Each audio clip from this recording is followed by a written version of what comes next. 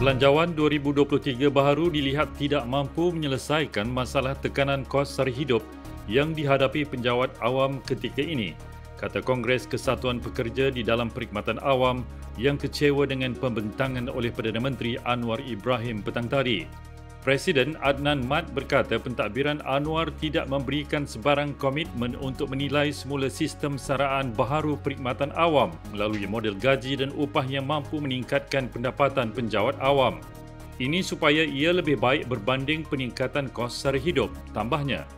Katanya kerajaan perlu memperhalusi semula permintaan penjawat awam yang berkaitan permasalahan kos sara hidup seperti mengkaji semula sistem saraan perkhidmatan yang sehingga kini tiada sebarang perkembangan daripada kerajaan.